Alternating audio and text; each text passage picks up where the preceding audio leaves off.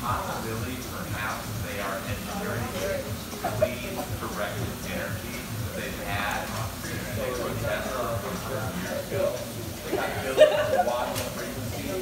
They can create any weather, any geographic they want. They're purposely destroying crops.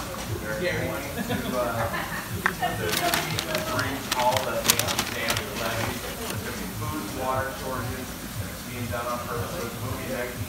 Uh, 73 called uh, Soylent Green. In the movie, there's food banner and Governor Short and the government handing out food called Soylent Green Mystery Meat. And it's set in the year 2020. And Charlton Heston finds out later on in the movie what Soylent Green is, made from ground up human bodies. Here we are, less than 15 months away from 2020.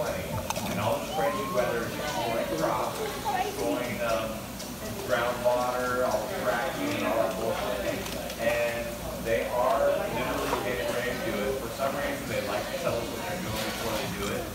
And they are getting ready to start World War III, food shortages, disease. You know what causes disease? All diseases have cause and effect.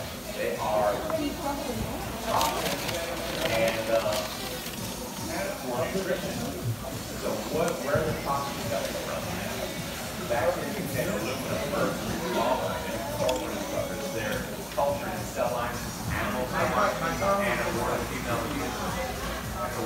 put all that mixture directly into, into the, the bloodstream, bypassing the body's natural immune system.